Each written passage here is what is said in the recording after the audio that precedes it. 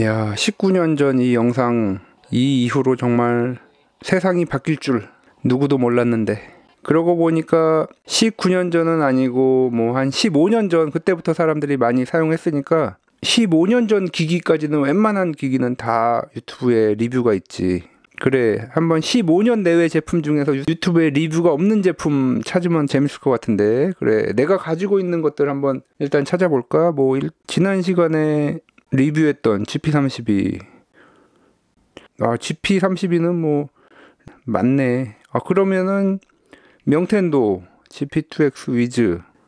아이고 위즈도 뭐 영상이 많네 위즈. 어, 게임기 말고 그러면 뭐 노트북? 이 라이프북. 요거는 조금 내가 가진 것 중에서 그래도 약간 rare인데. 후지츠 라이프북 또 혹시 이게 P1610. 아 뭐 많구나 역시. 이 유튜브 정말 인류 문화 지식의 보물 창고네. 와 뭐 백과사전이지 뭐 그냥. 진짜 뭐 없는 게 없고. 요것도 약간 rare인데 이 조나다 720 조나다 710은 나오는데 조나다 720 어, 720 720 어, 2개월 전에 또 리뷰를 했네. 어, 요즘에도 리뷰를 많이 하네. 5개월 전 8년 전 오, 17년 전. 나도 뭐 사실 이거 한 3년 전에 구한 건데 와 17년 전에 이걸로 둠했을 때 그때 그 기분 어땠을까? 뭐 유튜브에는 정말 없는 게 없네. 저번에 정말 내가 득템하니 베가 베가 UMPC 중고로 다 정말 싸게 사서 내가 영상까지 올렸던 건데 베가 UMPC 어, 베가 UMPC 아 내 영상이 제일 먼저 뜨고 3년 전 쇼츠. 오 이거는 아 여기 있네. 11개월 전. 내 당근마켓 득템기 말고 없을 뻔했는데. 야 이거 좀 아깝다. 예, 뭐 요거는 삼성 거니까 많겠지 요거. 삼성 Q1 삼성 Q1 아 이거 유명한 분이 또 1년 전에 했네. 아 이거는 Q1 울트라. 아 그냥 Q1도 있고 누가 17년 전 와 정말. 이 당시에 유튜브 시작했던 사람들 계속 했으면 구독자 많이 모았을 텐데. 아 유튜브가 19년 전에 나오고 17년 전 영상도 참 많네. 요거는 없을 것 같긴 한데. 와이브레인. 이것도 정말 어렵게 구했던 건데. 그냥 와이브레인 전체로. 아이고. 없는 게 없구나 진짜. 인류의 모든 지식 정보의 보고 유튜브. 아 포기. 아 잠깐만. 그래 한 개 더 있었지 한 개 더. 이거 정말 구하기 힘들었던 건데. 코원 W2 뭐 정말 어렵게 구한 건데. 상태 좋은 거는 뭐 구할 수도 없고. 그리고 이것도 부품용으로 구한 건데. 코온 D2 플러스 영상 찍으면서 아마 이 제품 알게 되었고 중고로 구한 건데 부품용으로 한 1년 전에 구하고 아직 되는지 테스트는 안 해봤는데 D2 플러스도 뭐 많이 있지. 코온 W2 오! D2 플러스만 나오고 W2 어딨어? W2 W2 어딨어? W2 오 W2 없다. D2 아직까지도 안 나오지. W2 오 찾았다. 유튜브에 리뷰 없는 제품 코원 W2 전설의 태블릿은 아니고 윈도우 machine 드디어 찾았어. 유튜브에 리뷰 없는 제품. 코원 W2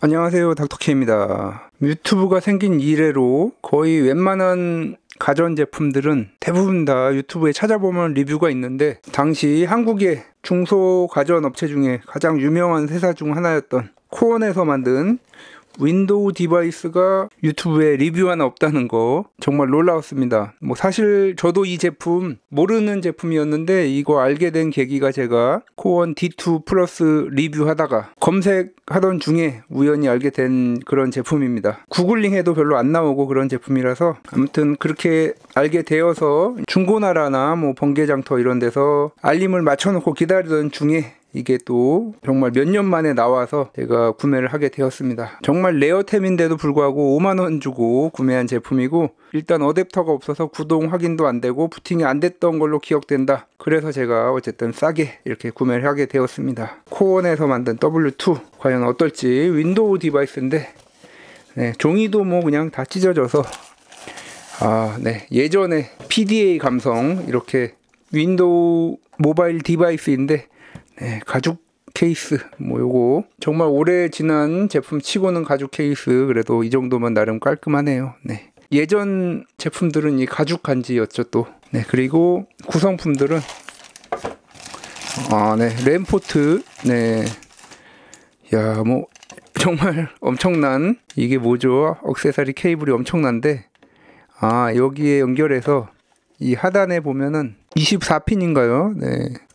네, 이렇게 꽂으면 이제 랜도 쓸 수 있고 VGA 출력도 되는 아, 이런 케이블이 또 있습니다. 네, 요거는 뭐 데이터 전송용이겠죠. 네, 그 당시 제품이라는 걸 딱 알게 해주는 24핀 케이블이 쓰였고, 어, 네, 뭐 액세서리 많네요. 네, 코원 이거는 뭔가요? 아, hand strap인 것 같은데, 어, 이거 무거워서 hand strap 쉽지 않을 것 같은데 가죽 케이스까지 씌우면 와, 네, 563g. 와, 이거 hand strap 하면 손목 박살 날 것 같은데. 아무튼 그 당시 감성 또 이 모바일 기기에는 hand strap이 또 있어야 됐죠. 아, 그리고 또 코원의 이어폰. 코원 하면 또 음악 명가이기 때문에 아이오디오. 네. 전에 제가 또 리뷰했던 MP3 플레이어 생각하면 뭐 디자인도 어떻게 보면 비슷한 것 같습니다. 자, 그러고 이제 네, 구성품 정말 알차고 아, 네. 또 이렇게 외부 출력되는 게 component 케이블도 들어 있습니다. 그 당시에 방모 같은 데 연결해서 윈도우 게임 즐겼으면 정말 엄청났을 것 같은데 그런 기록을 찾기가 힘들죠. 그야말로 레어템이기 때문에 아, 제 방모도 지금 고장만 안 났으면 한번 연결해 보는 건데 만약에 되면 자, 그리고 매뉴얼 아, 드라이버도 있네요. 다행히. 아, 시스템 복구. 오, 네, 시스템 복구 디스크가 있네요. 자, 이게 글씨도 잘 안 보이는데 시스템 복구면 윈도우 부팅만 되면 처음 상태 그대로 돌릴 수 있는 건데 아 여기에 스펙이 나와 있습니다 뭐 정말 찾기도 힘든 스펙인데 윈도우 7이 설치되어 있고 인텔 아톰 1.33GHz 디스플레이는 4.8인치 1024에 600 터치가 되고 뭐 감압식이겠죠. 그리고 음성 인식 오, 네, 음성 인식이 또 되는. 그리고 무선 랜 USB 2개 그리고 미니 USB 포트. 이거는 뭐 미니 5핀이겠죠. 그리고 USB 디바이스 포트. 이 하단에 아까 전에 그 포트인 것 같습니다. 그리고 블루투스 스피커 있고 마이크도 있고 luxury hairline metal body. 아, 네, D2 플러스와 비슷하게 마감은 정말 좋은 것 같습니다. 마감은 와, 마감 정말 좋죠. luxury hairline metal body. 네, 버튼도 몇 개 있고 기기 자체 디자인은 정말 좋은 것 같습니다. 네, 그리고 뭐 이더넷 포트도 있고 모니터 아웃, 컴포넌트, 컴포지트 TV 아웃까지. 야. 네, 구성품은 아, 키보드는 또 별매군요. 아, 오디오 케이블이 또 있어야 되는 건데 아, 아 이건 뭐 요즘에 나와 있는 그런 오디오 케이블 써도 되고 composite 케이블, USB 케이블 어, 다 있습니다. 아, 스타일러스 펜이 없네요. VGA 유선랜. 아, 이거는 또 별매 제품인데 또 구매를 한 것 같습니다. 어댑터는 분실한 것 같고 네, 복구 DVD가 있어서 간단하게 복구할 수 있을 것 같습니다. 자, 그래서 이제 제품 보면 옆에 글씨가 잘 안 보이는데 12V라고 써 있습니다. 12V. 어, 글씨가 네, 보이나요? 12V. 자, 네, 이런 거 하나 가지고 있으면 이런 제품 생겼을 때 상당히 편리하죠. 네, 한 방에 마셨습니다. 자, 12V 2A 어댑터 연결하고 한번 켜보겠습니다. 요 위에 네, 이쪽은 락이고 이쪽이 이제 전원 스위치인 것 같습니다. 아, 네. 불이 들어오는군요. 오, 네. 코원. 아, 이 소리는 하드 드라이브 맛간 소리인데 리브레또 리뷰할 때 그때 났던 소리와 약간 유사한 소리가 나고 있습니다. 아, 바이오스 그러면 한번 키보드 연결해서 네, 요새 많이 쓰이는 또 키보드죠. 마우스 기능 같이 있어서 블루투스도 되고 2.4GHz 무선도 되고 인텔 아톰 Z520 1.33GHz 램은 1기가 네, 뭐 당시로서는 이 정도면 뭐 쓸만한 그런 사양이죠. 네, 아, 네. 하드 드라이브가 안 나오네요. 자, 뭐 이거는 뭐 나가도 당연히 아 바로 또 이렇게 들어오죠. 이건 뭐 뜯어봐야 될 것 같습니다. 하드 드라이브는 일단 고장 난 거고 바로 꺼지는 걸 보니까 배터리도 없고 아 드라이버가 이게 십자 드라이버가 아니고 아, 네. 이게 뭐죠? 별 드라이버 비슷한 것 같은데 뭐 애플 따라하는 건가요, 이거? 찾아보면 요게 맞을 것 같은데 네, 맞네요.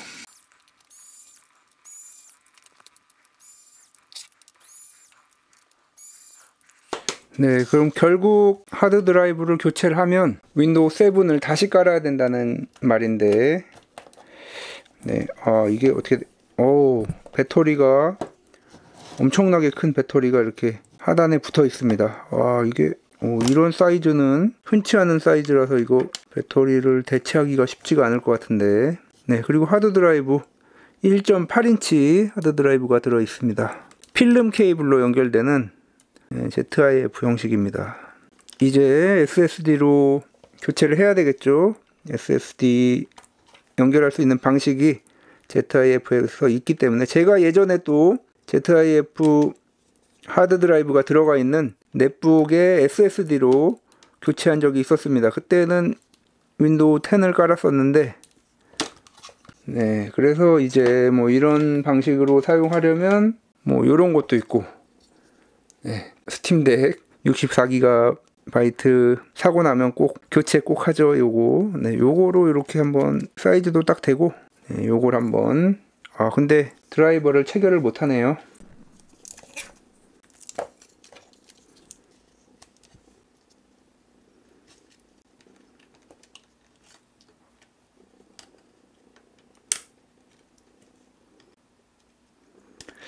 네, 문제가 윈도우 10은 제가 지난번 영상에서 네, 이런 식으로 설치를 했었는데 윈도우 7은 드라이버 문제가 있을 수도 있다는 거. 그게 또 문제죠. 일단 뭐 될지 안 될지 모르기 때문에 드라이버 체결을 하지 않고 그냥 살짝 덮, 덮고 하도록 하겠습니다. 윈도우를 설치해야 되기 때문에 윈도우 7 부팅 USB 자 켜보겠습니다. 네, 들어오고 오, 네, USB로 넘어가죠. 결국 하드 드라이브 이상이었다는 걸 알 수 있습니다. 네, 오랜만에 또 윈도우 7 설치하면 또 보게 되겠네요. 네, 이렇게 놓으니까 꼭 UMPC 같죠. 아, 사실 그리고 요 형태의 제품 지금 뭐 알리익스프레스에서 비슷한 거 파는 거 있죠. 아마 한 번쯤 알리익스프레스 구경하시다가 보신 적 있을 겁니다. 이 코원의 W2를 약간 모방해서 만들지 않았나 싶습니다. 네, 마우스 작동도 잘 되고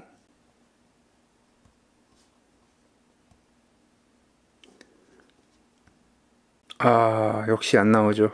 드라이버를 또 로드하려면 이 부팅 디스켓에 드라이버 파일을 또 넣어야 되는데 지금 이런 SSD 어댑터라든가 지금 이 SSD 드라이버가 윈도우 7에 있을 리가 없죠. 아, 네. 여기서 이제 진행이 안 되겠네요. 아, 그러면은 어떻게 하죠? 이거 제가 작동되는 거 하나 있긴 한데 아, 요거는 또 최후의 보루로 남겨둬야 되는데 뭐 안 되면은 여기에라도 설치를 해야 되겠죠. 자, 그러면은 한번 다른 방식으로 제가 지난번 넷북에 설치했던 게 이 형식의 제품인데 요걸로 한번 해보도록 하겠습니다. 과연 어떨지 아, 네, 안 나오는군요. 할 수 없이 이걸 써야 되는데 아, 왠지 또 SSD에 한번 설치해 보고 싶은데 자, 그래서 찾다 보니까 대체할 제품이 또 있습니다. 네, 이 제품 또 구매해서 2주가 또 흘렀습니다. 아, 아이팟 계열에 많이 사용하는 ZIF 형식으로 나온 SSD인데 아이팟에서도 되는데 과연 이 제품에서 될지 한번 보겠습니다. 네, 무게도 상당히 줄어들 것 같은, 네. 자, 과연 어떨지. 아, 반대로 낀 것 같습니다. 부팅 하다가 하드 드라이브 불이 들어와 있는 채로 그냥 멈춰버리는 걸 보니까, 네, 이렇게 끼우는 게 맞는 것 같습니다.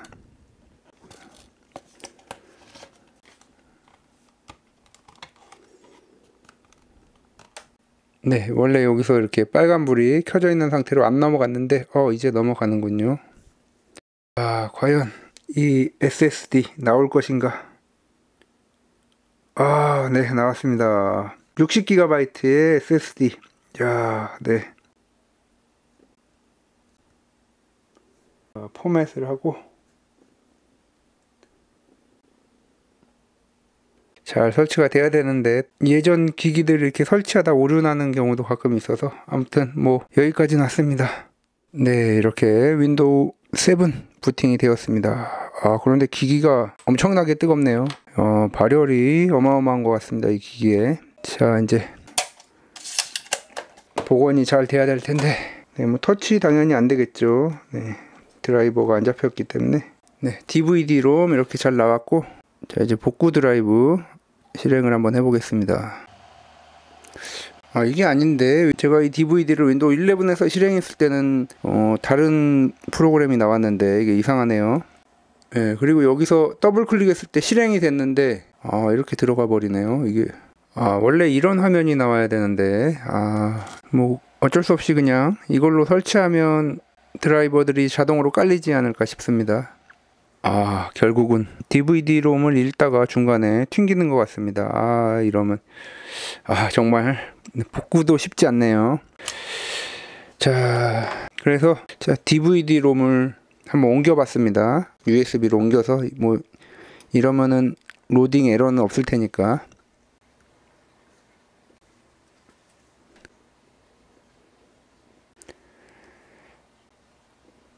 자, 이제 한번 또 설치를 쭉 진행해 보도록 하겠습니다. 여기까지는 이제 안정적으로 진행이 되었습니다. 이런 식으로 나오는 휴대용 DVD-롬은 뭐 전력 문제라든가 그런 것 때문에 중간에 한번 튕기게 되면 설치가 중단이 되어 버리기 때문에 아, 이런 거 좋지가 않네요. 네, 설치가 잘 되었습니다. 코온이라고 이렇게 나오고 바탕화면도 코온으로 바뀌고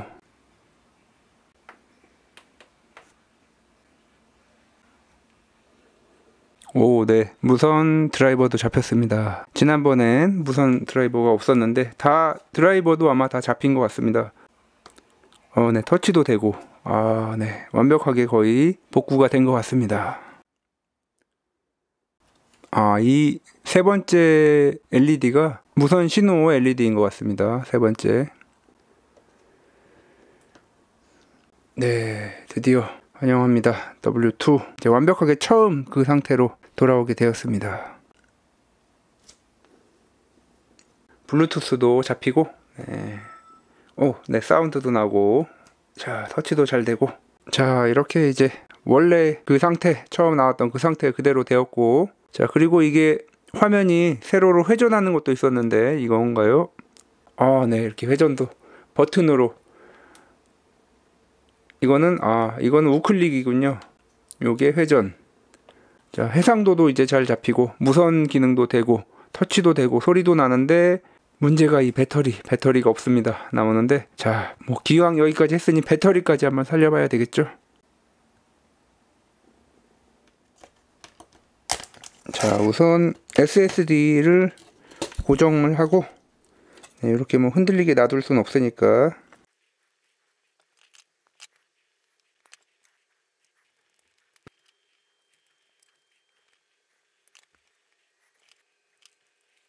자 이제 이 배터리. 자 보니까 지금 셀이 두 개입니다 두 셀. 그렇다면 7.4V겠죠? 3.7V 두개 7.4V일 것 같습니다. 찾아보기로는 스펙상으로는 4400mAh라고 나오는데 뭐이 크기가 4400은 넘을 것 같은데 네, 두께라든가 크기를 보면 4400 넘을 것 같은데 어쨌든 몇 볼트인지는 안 나오고 그냥 4400mAh 딱 이 정보만 있습니다. 네, 배터리도 많이 부풀었죠. 뭐 이제 배터리는 뭐 성능이 거의 끝났다 보이고 보호 회로에 이제 배터리 두 개를 비슷한 사이즈를 찾아서 연결해 주면 되겠는데 뭐 이런 사이즈는 별로 진짜 본 적이 없습니다. 네, 이 비슷한 사이즈가 없어서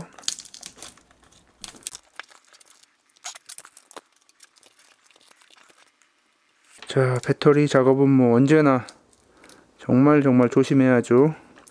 이번 배터리 사고도 그렇고 배터리는 정말 조심해야 됩니다.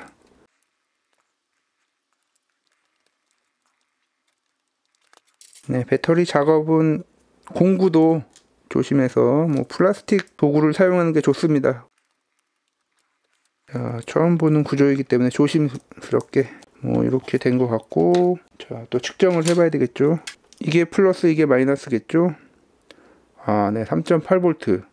오, 3.8V면은 잘 나오는 건데 아마 그렇다면 이쪽이 죽어 있을 요 배터리가 죽었을 가능성이 높겠네요. 아, 5V? 아, 이게 지금 전압이 아니고 네, 0.5 옴으로 잡히네. 아, 죽었네요. 이 배터리가 지금. 자, 쭉쭉쭉쭉 늘리고 이제 절단을 해야 되겠죠. 요쪽이 조금 구조가 어떻게 되는지 몰라서.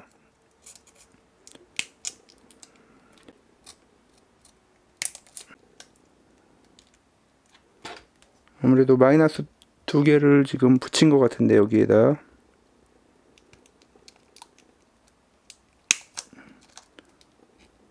아 이쪽이네요. 아 이렇게 두개. 네 여기 보이시죠? 이렇게 두 개 이렇게 두 개네요 배터리 작업은 이렇게 하다가 조금이라도 뭐 연기 난다 그러면 바로 납땜하다가 납땜 바로 제거해 버려야 됩니다. 네. 여기 들어갈 배터리 높이는 딱 높이는 요 정도. 아, 이게 딱인데 이거는 용량이 너무 낮습니다. 2800. 두께가 얇아서 어, 요것도 아쉽죠. 두께가 조금 두껍고 4000 정도 됐으면 좋았을 텐데 뭐 4000짜리는 흔히 사용 안 하기 때문에 요게 가장 나을 것 같습니다. 3200mAh. 네, 요렇게 해서 이쪽에 이렇게 놔야 되겠죠. 이렇게 놓고 이렇게 뭐 짧지는 않을 것 같습니다. 자, 그럼 요거 배터리 작업.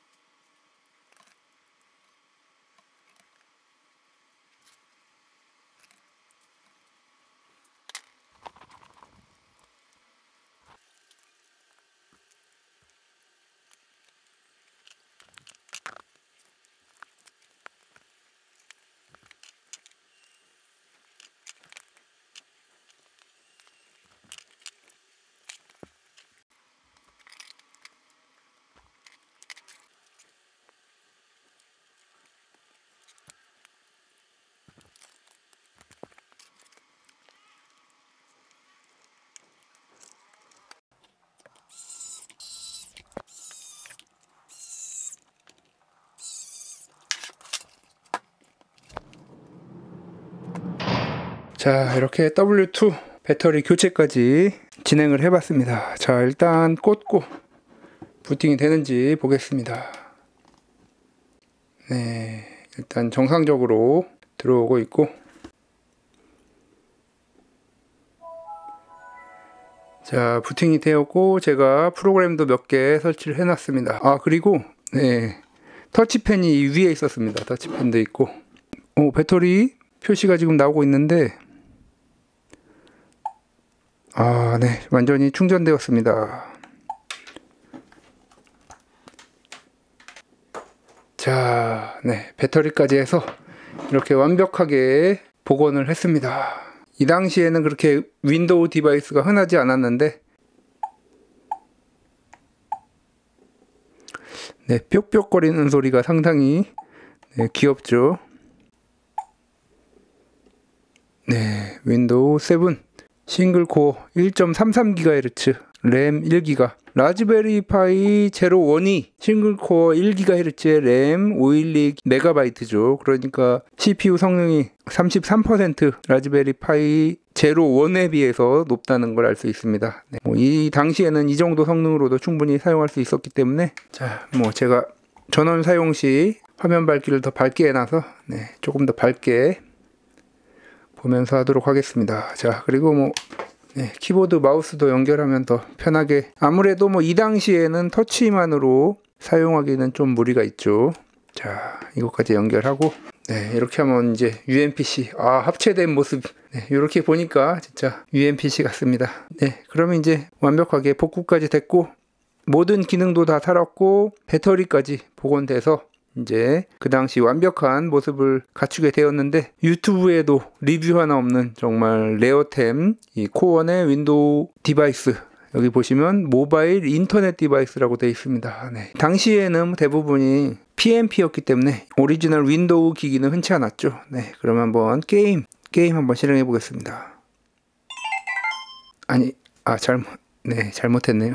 아 그래도 들어온 김에 한번 또 보고 아 살짝 끊기네요. 그 당시 다 한 번쯤 해보셨을 안 해보신 분 없으시겠죠? 가운데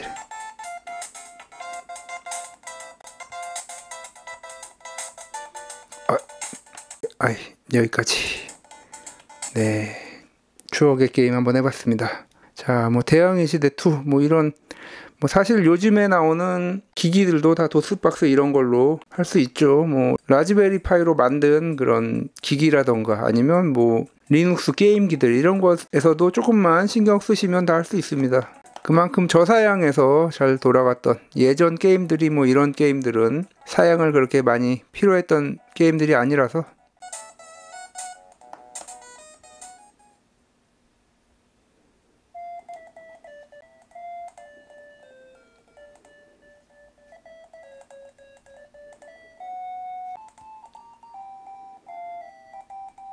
아, 닭이 있군요. 닭. 닥터 K 다 하기는 좀 오래 걸릴 것 같고 글씨가 작아가지고 아이고 이게 또 패밀리 네임까지 네 그럼 DIY 오 손이 뜨, 오 지금 손이 뜨겁습니다 야 이게 진짜 발열이 심하다고 들었는데 정말 심하네요 네, 가죽 케이스가 꼭 필요할 것 같습니다. 잡고 있는데 갑자기 어, 세게 잡았더니만 뜨거워져가지고 아, 이 추억의 진짜 사운드.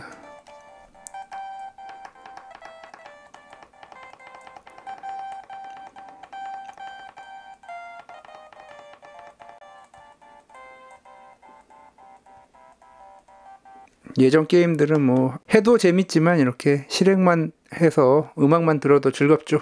코온 하면 MP3 PMP 외에도 이렇게 윈도우 device를 만들었었는데 그렇게 크게 성공을 못한 것 같습니다. 저도 이 당시에는 이 제품을 몰라서 이 제품이 왜 실패했는지 뭐 정확한 원인은 알지 못하겠지만 아마도 뭐 가격, 발열 뭐 이런 게 아니었을까 싶은데 당시에는 대부분 뭐 영상 감상 위주였기 때문에 저렴한 PMP가 더 나을 수도 있겠죠.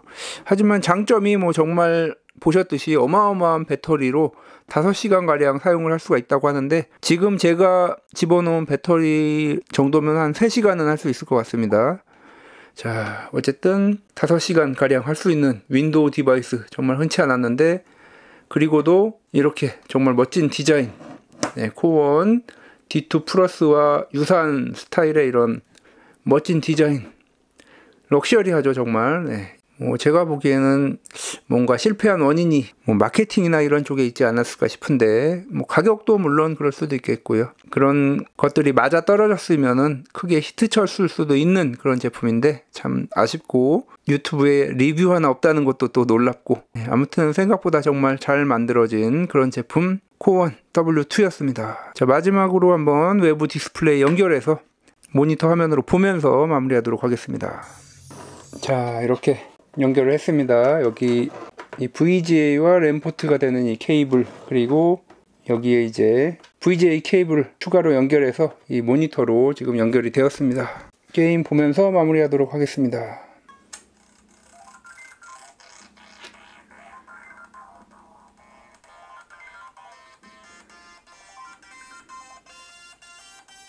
지금까지 닥터키였습니다. 다음 시간에 더 알차고 도움이 되는 IT 정보, 리뷰, 그리고 신박한 DIY로 찾아뵙도록 하겠습니다. 구독과 좋아요도 부탁드립니다.